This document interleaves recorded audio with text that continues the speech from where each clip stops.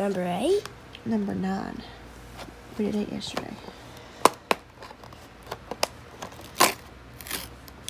What is it? It's a monster truck. Oh, sweet.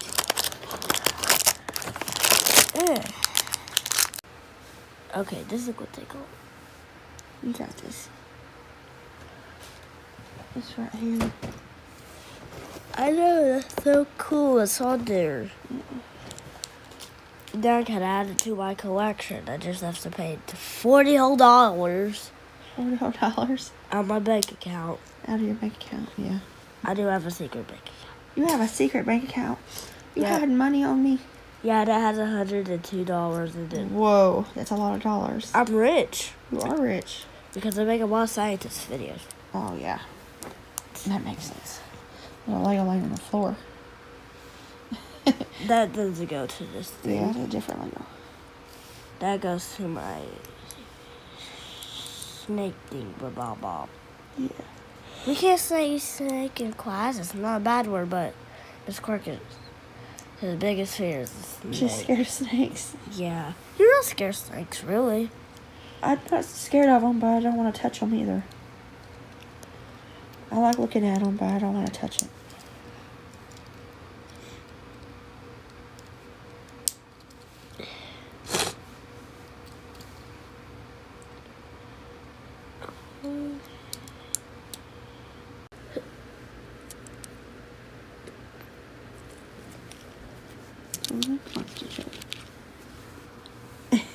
That's what it came into. This is not real.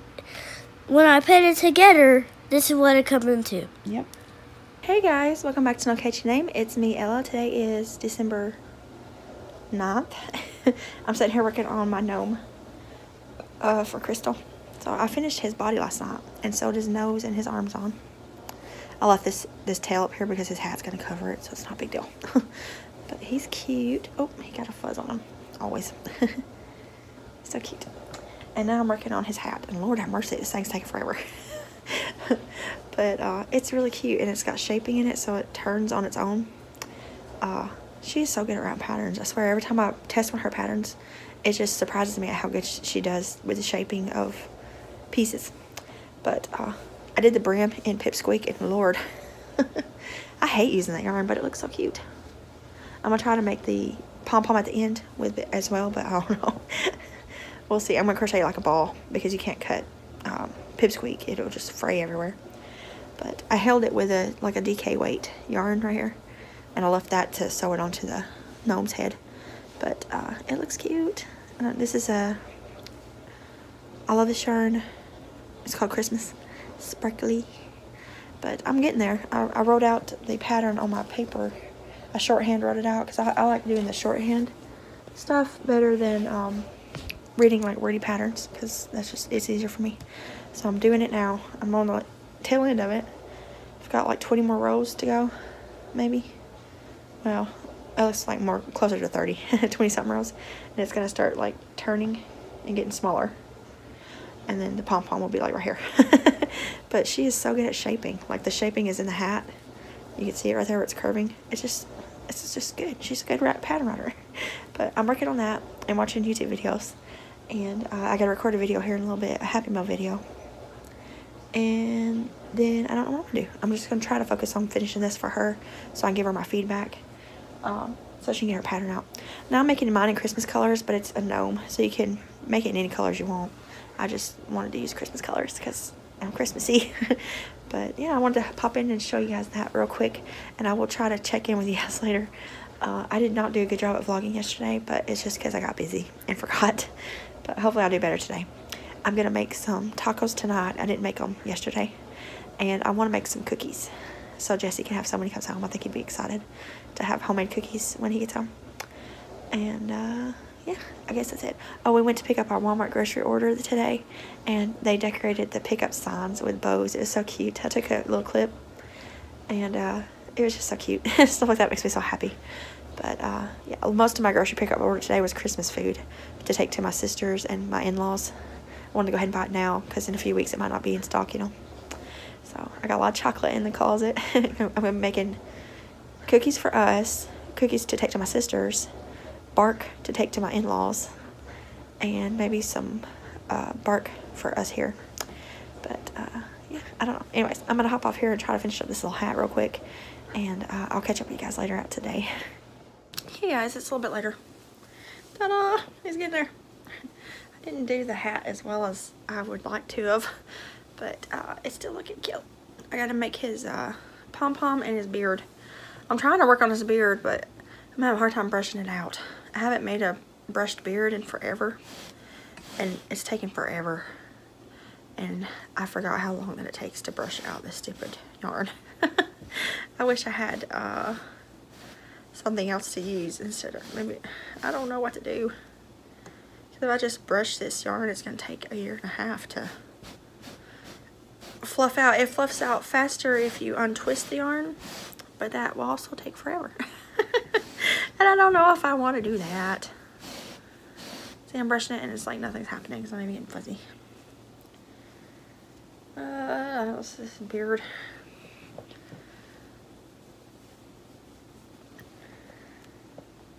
Gonna look kind of like that, but hopefully brushed. Oh boy. Maybe I'll just add more yarn to it and not brush it. Because I started to untwist it on my untwisted too. and they do fluff up better when you untwist them, but there's that many to untwist. and I don't want to do that. Oh boy. I don't know. I'm just sitting here trying to brush it. Anyways, I thought I'd get on a chat for a minute. Uh, in my vlog yesterday, I was freaking out about the baby. And one thing um, that freaks me out the most is because I never have went into labor. I, I did have a baby, yes, Jesse, but I didn't go into labor with him. I was sick and was sent to labor and delivery. They told me we had preeclampsia and they induced me.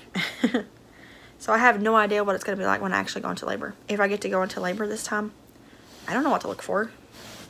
You know, it's kind of like being a first-time mom again. I don't know what's going to happen if I just go into labor because I've never went into labor before.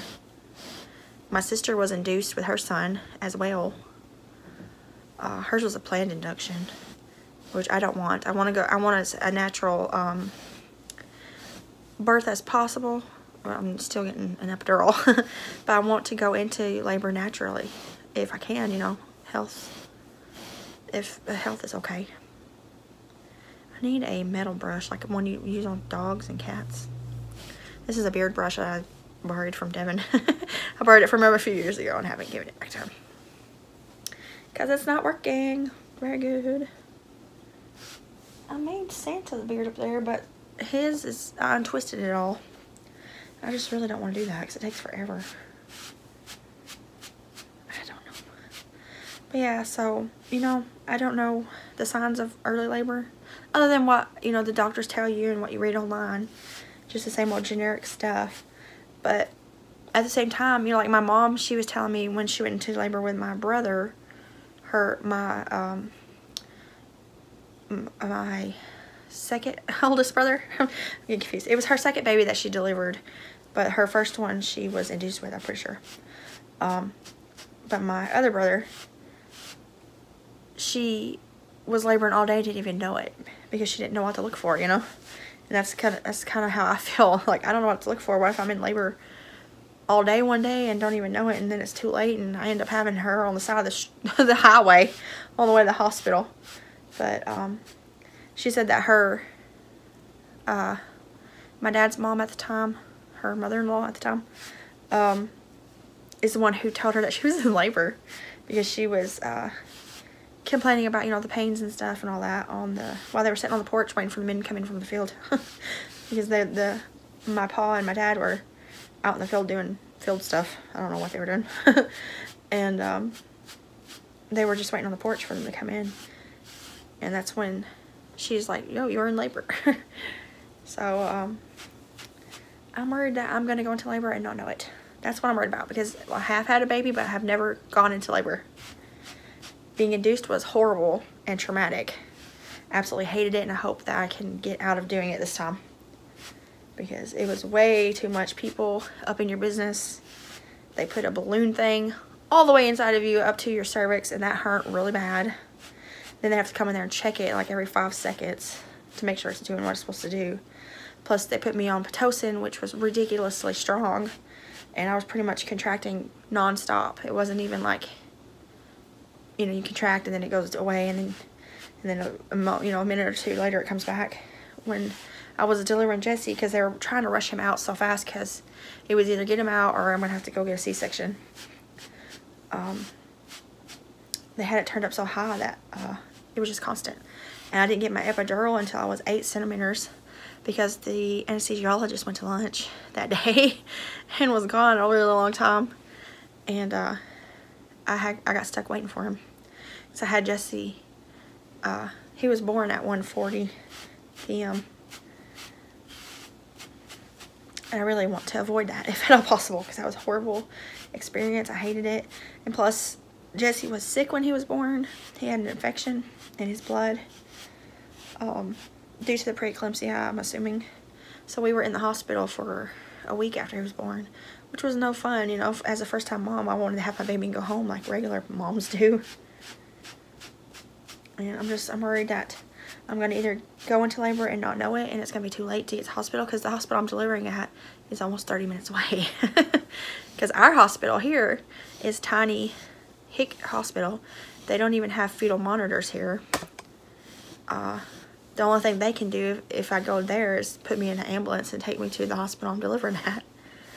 Um, so that's not fun at all. I'm not looking forward to that. so hopefully everything goes good. And I hope that when I go into labor, I know it. and uh, I know, you know, when you go into labor, you don't go into the hospital immediately. You're supposed to labor at home until your contractions get a certain amount of time apart. Unless your water breaks. But, I don't know. It's just it's scary. I feel like a first time mom again in that point because, like I said, I've never went into labor and they've already told me that, you know, the odds of me going into labor early are higher. So, I'm just worried about that. I'm just a little worried about that. Uh, it's not getting fluffy. I don't, I don't have a metal brush. I need to get, go to the pet section and get one of those metal cat brushes. It's fluffier. Stick that under there. How does that look? I should have added more yarn to it. Looks like it needs more yarn in this area. The sides are pretty good. I don't know. It's really long. I'm gonna I'm gonna trim it some. It looks like I might need to put some more yarn in this area. Or I can quit being picky and just do it. It doesn't have to be perfect. I messed up the hat. The brim is too small. So I had to like stretch it like crazy to get it over his head. And um, it's stuffed kind of weird. And I gotta make a pom-pom. But uh, if I don't worry about being perfect all the time, I think it looks fine. Oh, so that way up underneath his nose. Those knots. I think I'm gonna see if my sister wants this gnome after I get done with it. It looks alright. it just needs to be trimmed. I just need to quit being so picky all the time. I'm always so like critical of my own work. But yeah, he's almost done. I guess just gotta sew his beard on there and make a pom-pom. I wanted to put a big jingle bell, but all my jingle bells are little tiny ones and it wouldn't look right with a little tiny jingle bell. I don't think I have one that I can take off of a decoration. I don't know. Anyways, I'm gonna go in there. What time is it? Let me see what time it is. I accidentally stopped recording and I was still sitting here talking. Anyways, I was looking at the time and I guess it closed out the recorder. Anyways, um, I'm gonna wait to make tacos until after Jesse gets home. Because when I wake up Devin, it'll be almost time to leave. So we'll just leave and go get him. And then come home, I can make tacos for dinner. And we might make cookies later. Uh, because Jesse likes helping me in the kitchen. So I might wait and have him help me make some cookies. And yeah. So this this Saturday was supposed to be our Christmas parade and it's still planned, but we also have an 80% chance of thunderstorms that day so far. It's supposed to be over before the evening, but I don't know. They, they posted on Facebook that if they cancel the parade, it'll be last minute. You know, they're going to wait till the last minute to see if it needs to be canceled. So I'm hoping that the weather moves out and it'll be nice for the, um, the parade. Because we didn't have one last year because of everything, you know. And um, I want to go to the parade. Okay, I'm going to stop the beard there. I'm happy enough with it. Doesn't have to be perfect. um, yeah, so Devin has to work tonight and tomorrow. And then he's off uh, the whole weekend. Jesse has to go to school all next week, Monday, Tuesday, Wednesday, Thursday. And on Friday, he only has to go for two hours. And then he's off until January 4th. So that'll be nice. He'll be home for a while. It's almost Christmas time. Our grocery order today had a lot of the Christmas stuff in it. Um, I'm going to be taking some barbecue smokies to my sisters because on Christmas, when we go for Christmas there, um, we just take like hand or finger foods. so I'm going to take um, little smokies and some cookies. She's making rotel dip. Something else. She told me something else she was making. Oh, those pickles with cream cheese and ham wrapped around it rolls. I don't know what those are called, but they're really good. Uh, I'm hoping my mom makes more sausage balls. She made them for Thanksgiving and they were the first things that were gone. We all like hoarded to them and ate them all. They were so good. Uh, yeah, I don't know if my brother's gonna bring anything, probably not. But uh, we just like to have like snacky foods so that we can snack food and talk and then open the gifts and go on. I still gotta get wrapping paper to wrap her gifts because I got her name. And we also got my brother-in-law's name but he's hard to shop for so we're just getting him a gift card to uh, a tool store because he likes tools. But yeah and I got my nephew's gifts I got to wrap them too. My sister's actually going to bring me some wrapping paper because she has a ton of it. I didn't buy any last year on clearance and I'm now completely out so I need to restock up this year after Christmas on some wrapping paper yeah, I guess that's it. I've been chatting for a minute. I wanna, I'm gonna hop off here and put this little beard on this guy, and then I gotta figure out what to do about his pom pom. Cause I'd like to make it out of the pipsqueak here, so I might just make like a ball. But I don't know if it'd look weird just as a ball. I'll try to make it and see how it looks, and go from there, I guess. But my gnome's almost done. I feel like he's a little goofy looking, but he's cute, I guess. I just feel like his hat's like because I accidentally made it too tight, so it kind of tucks in right there. And when I first put it on, I overstuffed it big time. I had to pick out all the stitches and take out like most of the stuffing because I way overstuffed it. It looked goofy. I have a habit of doing that. But I'm going to put his beard on and he'll look a lot better once he has his beard. and then I just got to do his uh, little paw on top of his hat and uh, call it a day. I might I might just make a pom-pom out of white yarn instead of using that pipsqueak because that pipsqueak is a pain in the butt to use. It looks so cute. I like it and I've made amigurumis with it before and they look really cute. But it's just a pain in the butt. it's really easy to lose your stitches so you just try it and you're just going with it, you know. But that's probably why that brim came out so small is because I lost some stitches along the way. But uh, oh well. I'll hop back in here later and check in with you guys. I gotta get my scrap ball and open it. I haven't done that yet.